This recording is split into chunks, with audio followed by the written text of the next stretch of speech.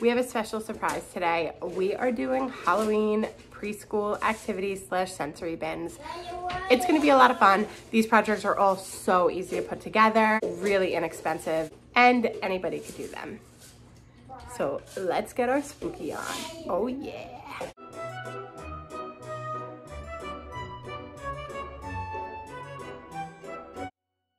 Halloween is coming and I decided to do witch volcanoes. So I used mini cauldrons from Dollar Tree and I just took about a tablespoon of baking soda and put it in each cauldron. I made sure to put the cauldrons on a plate because I knew this would get messy.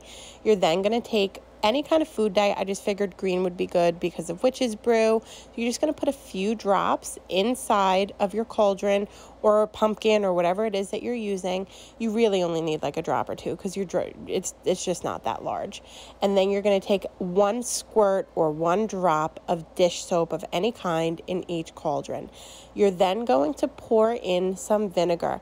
I put it in a separate cup because obviously the vinegar and the baking soda is what causes a reaction. So I just poured about a quarter of a cup in each cup for the boys to pour.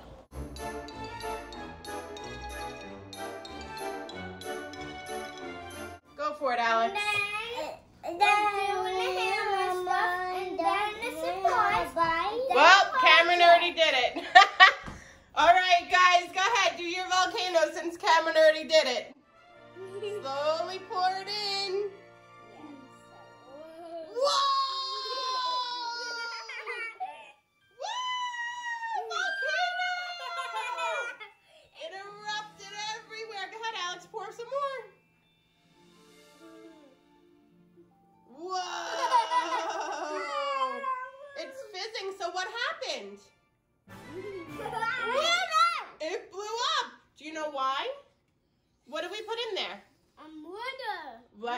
was vinegar and baking soda.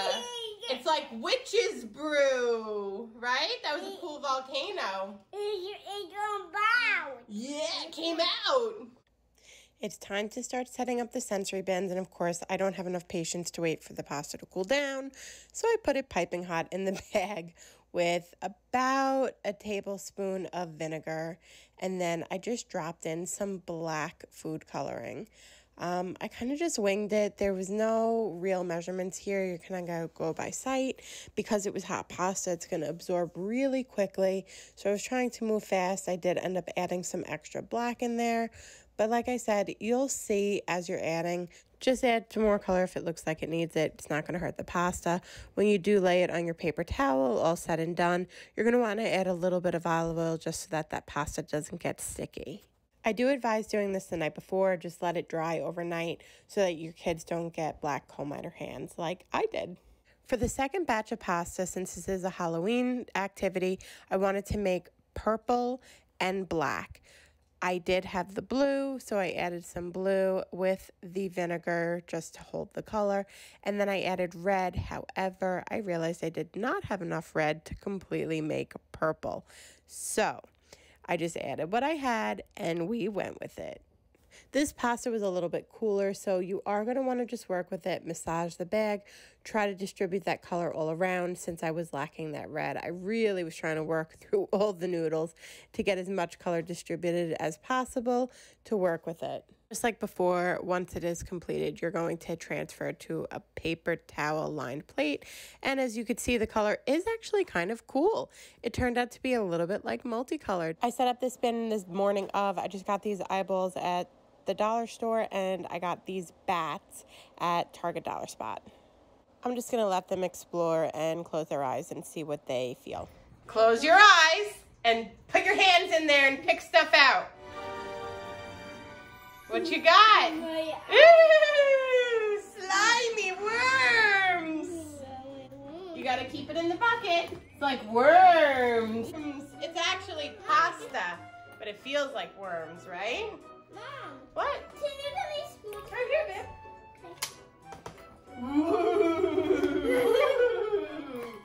creepy, creepy. You found that, Cam. A ball Eyeball. That's a pretend eyeball. The next activity is for our jack-o'-lantern rice bin, and this is just uncooked white rice with vinegar and orange food coloring. It's actually called golden yellow, but honestly, I thought it looked pretty orangey, so I kind of went with it so I didn't have to buy anything. I had it in my counter. Anyway, as you can see, make sure you seal the bag so that what happens to me does not happen to you because I did not appropriately seal the bag and I made myself a large mess. Learn from my mistakes, seal the bag. Once it's all done, you're going to transfer it to, again, a paper towel lined plate. Let this sit overnight. It actually dries pretty quickly, but it looks really cute and orangey. Good, Cami. We're filling up our jack-o'-lanterns. Yeah. Ooh, be careful, Cam. You know what, Cammy? Why don't you put this inside? There you go, like that. Oh, bye. Obviously, this is good for coordination as well. You're also enticing the colors, the sight, the feel, the sound of the rice hitting the bins. Go ahead, keep going. You're gonna pour it in. I want to see really cool jack-o'-lanterns. Alex, you picked the scary jack-o'-lantern. Scary jack-o'-lantern. one. Yeah, that one's a hard one. Look at how small the opening is on top. You think you can get it in? Yep. All right. Pour slow. Look at you. Excellent. Slowly pouring. Good job. Yeah. Up, Ty, do it over. Good job. Ooh, Ty, you're going for the hard ones. Good job. The next setup is for two activities. The clear containers are actually for our jack-o'-lantern rice. I tried to pick containers that had wide openings or little openings so that they could figure out how to appropriately pour the rice in. And the cups are for just a ghost stacking activity. I just threw a bunch of jack-o'-lanterns faces on everything and kind of figured that they can play with it and have fun.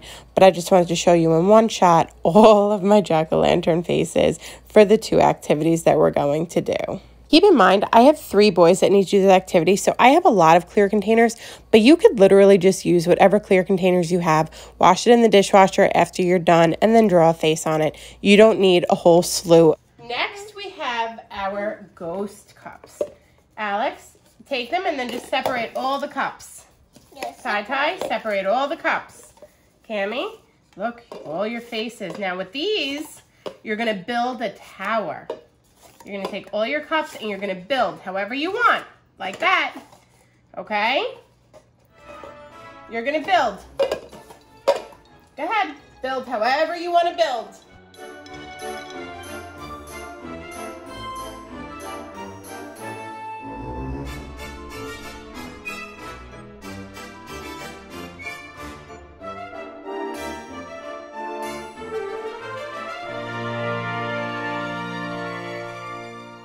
Obviously, I picked super cheap, really easy projects that you could put together really quickly because it's Halloween, there's things going on, the kids are back in school, so I kind of just wanted something that they could engage in and have fun with that was easy. Oh, you did a nice tower. Now you know what you get to do? Yeah. Knock it down! Go. Whoa! Okay, now you gotta clean it up. Wear gloves so your hands don't look like mine. I think the boys are going to have a lot of fun with this next activity. I just took golf tees that I got from Target. I think they were like $3. And I took little, they're called sweet pumpkin pie pumpkins. They were $1.99. And I'm just going to take the golf tees and screw them in. It was actually really easy to get them in the pumpkin. And then the boys are going to take hammers and they're just going to hammer away at it. I'm fairly certain that they're going to be really obsessed with this activity because they like to hammer things as if they're fixing things all the time. Is me trying to be uber creative by creating a face which doesn't really look like a face, but eyes, nose, and a mouth.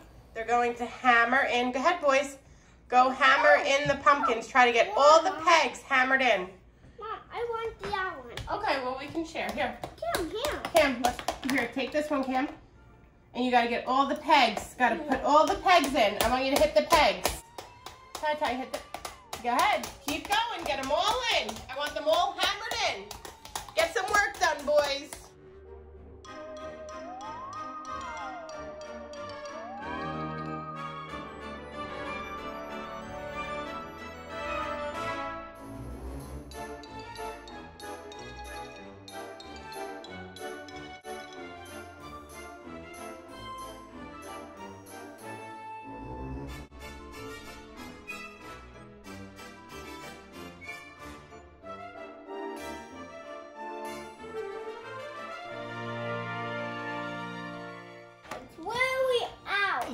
Was kind enough to send us starry lights. So after they're done hammering it in, we're gonna put these starry lights, which are fairy lights, inside the pumpkin so that they can see what it does.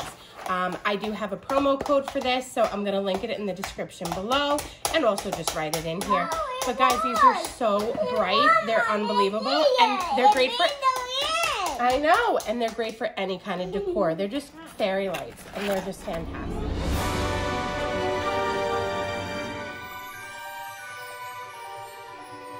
You guys, that Vont did send me the starry lights. They're 66 feet, 5 watts. They're super bright. What I did actually, I'm to keep this in the boys' room. I put it in a plastic bag so that they didn't get all gross they are incredibly bright. Of the quality of the copper. It's bendable fairy lights. They're amazing. They sent me two. I have a 10% off code. I will link it below. Guys, this is so cute. And my favorite thing, because I'm going to keep this in the boys' room, is it comes with a little switch light. Look at that. How cute. And don't mind the mess of my boys' room.